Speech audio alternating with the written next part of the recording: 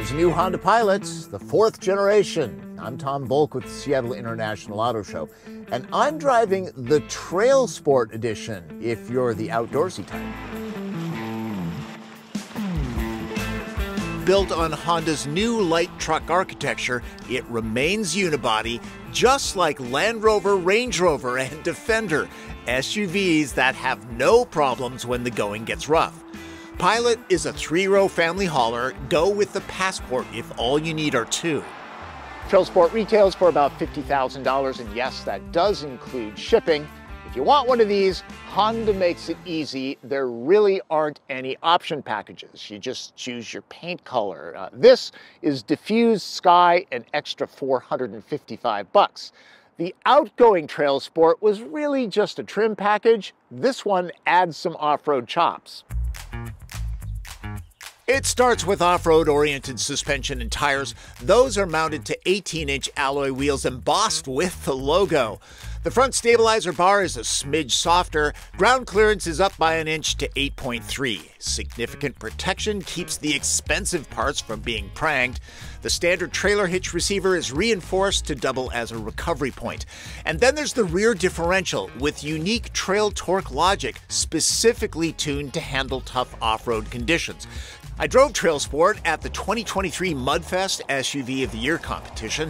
Honda's Jake Berg rode shotgun as we bombed around the course. Well as a special wheel design with inset spokes, so you're less likely to uh, scratch your wheel on a rock.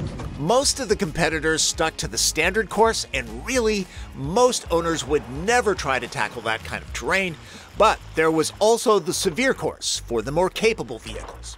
And we can actually go on this if you want to. Oh. Yeah. yeah. hey, little incline here. I'll estimate the grade at 30 degrees. More challenging is the slop. This is kind of loose and mucky. Here's a Wrangler on the section for reference. Uh, keep steady throttle all the way on the way up, and the IVTM4 system will figure out where to send the power. Okay, and drive mode? Uh, we're already in trail mode, so Okay. that'll give you, uh, it'll be more eager to send torque to the rear wheels and better at distributing that torque between both sides right, as well. let's go. Mm-hmm.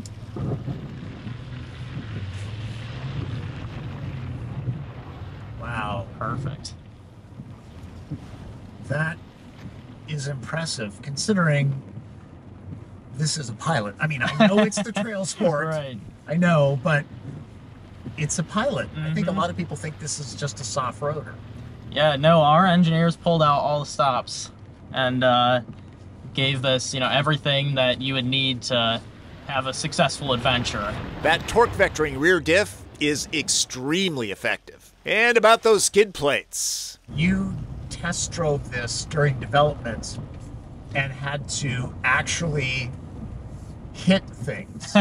yeah, so uh, our development team went to uh, a lot of different places, including Moab uh, and Sedona, and basically they wanted to see like what do we have to do to try and break the car.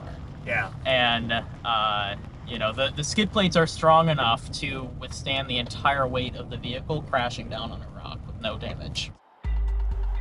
While turbocharged four cylinders are becoming more popular in machines like this, Honda sticks with its V6. At 3.5 liters, it delivers 285 horsepower and 262 pound feet of torque.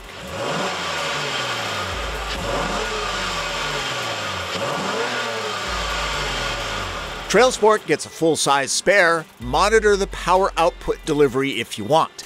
For the first time, Pilot shifts gears with a 10-speed transmission. It too remains the same, nothing different with the ratios. Manual shifts are done here. Trail Sport has the drive modes found in every all-wheel drive Pilot. The big difference seems to be the Trail Torque Logic rear differential. Trail Sports V6 doesn't get extra power, and the gear ratios on the 10 speed are the same on all pilots. That means all pilots will do the 0 to 60 dash in about 7 seconds, so this can get out of its own way. If you're into engine notes, there's a nice subtle V6 growl when you put your foot into the throttle. Certainly better than a turbocharged four cylinder. All fourth generation pilots have bigger brakes, a new belt driven steering rack, and front strut geometry adds steering feel. In back, an all new multi link suspension improves stability. Even with the off road tuning, this goes down the road in a more confident manner. The suspension is on the softer side. This is set up for comfort, and I haven't driven the regular Pilot, but I have to believe that the Trail Sport loses a little bit of on-center precision. It's still very, very good. Um, the same thing happens with the competitors, the Nissan Pathfinder Rock Creek and Telluride X Pro. There's going to be some body roll pitching the Trail Sport hard into a corner. The structure of the new light truck architecture feels as solid as the rocks this can climb over. Honda says the fourth generation's chassis rigidity is up significantly from Gen 3. The difference is noticeable. Remember when Honda was known for road noise? Mm, not this one. Pilot is moderately quiet, and I've been listening really intently to the tires because they're off road oriented. Really, not much hum coming off those things. Honda's ADAS suite of standard active electronic safety tech is dubbed Honda Sensing. In addition to automatic emergency braking with pedestrian detection and lane keeping assist, the fourth generation adds traffic jam assist, traffic sign recognition, and low speed braking control on most models. The 10 speed is terrific, the kind of transmission you don't even notice. Super smooth, always in the right gear. Nicely done, Honda.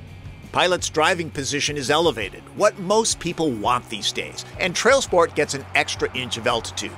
From behind the wheel, it doesn't feel overly large. Visibility is good all the way around, and most pilots get standard blind spot warning. Trail Sport's fuel economy is EPA rated at an average of 20 miles per gallon on standard grade fuel, one shy of a regular all wheel drive pilot. Trail Sports cabin is trimmed up a bit differently. There's only one colorway, and you better like orange trim. Honda says its seats, with a new internal frame, are more supportive. I like the bolstering, should keep drivers in place during harder maneuvers. These are synthetic leather and heated. The wheel is toasty too. Trail Sport and Elite get a more comprehensive camera setup. It's definitely useful when trying to position the vehicle on the trail, helps in the mall parking lot too. For cup holder aficionados, Honda engineers have crammed 14 of them into Pilot. And there are the usual places to stow things around the cabin. That will not be a problem. And this little shelf. Sunscreen, it's important. If the kids are acting up, you'll know who started it. Trail Sport's standard glass roof lets a lot of light into the cabin. This interface screen is the larger of the two available in Pilot. At 9 inches, it doesn't overwhelm the dashboard. Assignable shortcuts below help with organization. Overall, the layout is rudimentary, nothing to confuse people here. The charge pad works well with my iPhone 13 Pro, not all of them do, and that's important because wireless Android Auto and Apple CarPlay tend to suck the life force out of phone batteries. Some pilots can seat up to 8 with a removable section in the middle of row 2. Trail Sport stops at 7. It does what a lot of second rows do. There's as much legroom as you want, especially if you don't care about those in row 3. Built-in sunshades are nice. The floor is completely flat. People can scamper between the seats to get to the way back, or push this button. I've seen vehicles that only have that feature on one side. Pilot will load up quick. Trail Sport might ride a skosh higher, but small kids shouldn't have much of an issue hiking themselves in. Space-wise, Pilot's third row is pretty good. I'm five foot nine and I have a lot of headroom. There are belts for three back here, but for adults, width-wise, that would be very challenging. I would keep it to small children in that case.